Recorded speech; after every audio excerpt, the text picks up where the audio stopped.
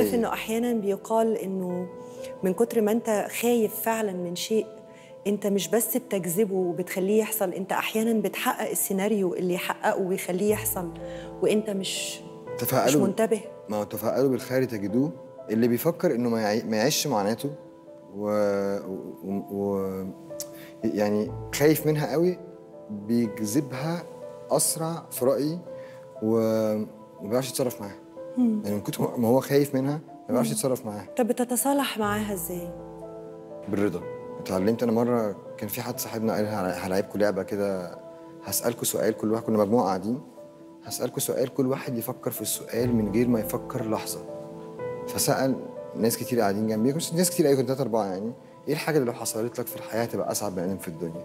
في اللي قال عيالي يبقوا كويسين أهلي ما يحصلهمش حاجة شغلي يبقى كذا فجاء عندي أنا فجأة كده سبونتينيوس ما فكرتش فيها. قلت له الرضا. راح قايم.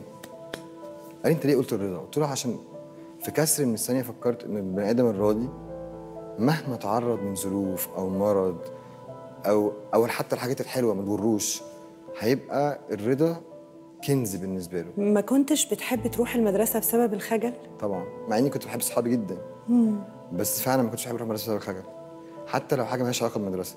يعني لو حصل لي حاجة مثلا قبلها بيوم ضايقتني جدا أو وترتني أبقى مش عايز أروح.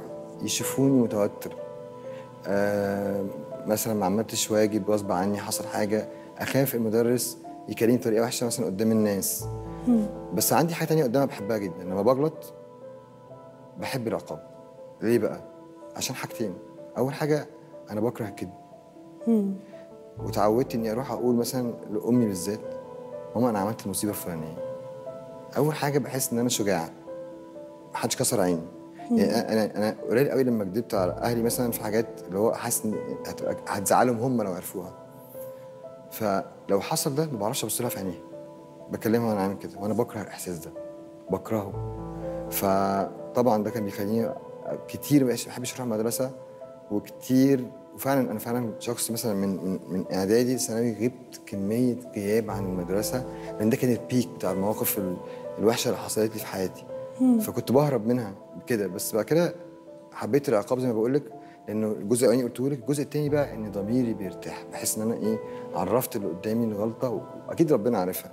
بس عرفتها له لأني برضه اتعلمت إنه أحاول على قد ما أقدر ما أدخلش بيني وبين ربنا طرف ثالث يعني بحس إن ربنا بعدله لو أنا مثلا دي تخيلاتي يعني إن لو أنا قلت له أنا غلطت الغلطة دي تخصني سامحني ربنا قال إن الله يغفر الذنوب جميعا. لكن لو مثلا غلطت في حق منى وهي ما تعرفش. لو رحت قلت ربنا سامحني أكيد ربنا هيقول لي أوكي لازم بس منى اللي تسامح.